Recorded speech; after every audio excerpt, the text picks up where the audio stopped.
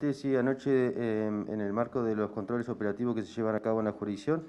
en pos de la prevención del delito, eh, siendo las 23.45 horas, el móvil de operaciones de, la comisaría, a cargo de la oficial principal REL, eh, se encontraba de recorrida efectuando la identificación de vehículos en actitud sospechosa, cuando en la eh, intersección de las calles Uruguay y Soberanía Nacional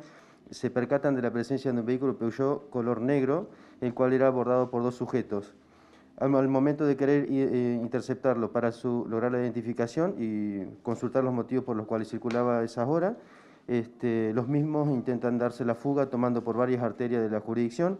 siendo posteriormente interceptados sobre la misma calle Uruguay y este, luego de la interceptación del vehículo hacen descender a los ocupantes y se percata de la presencia en forma eh, rápida de una sustancia que intentaban ocultar estos sujetos. ¿no?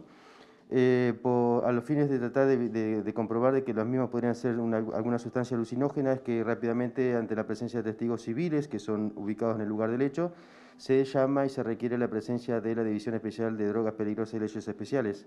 acudiendo al lugar y a los fines de hacer efectuar la requisa del vehículo, quien a primera, a primera vista observan esta sustancia que era de dudosa procedencia,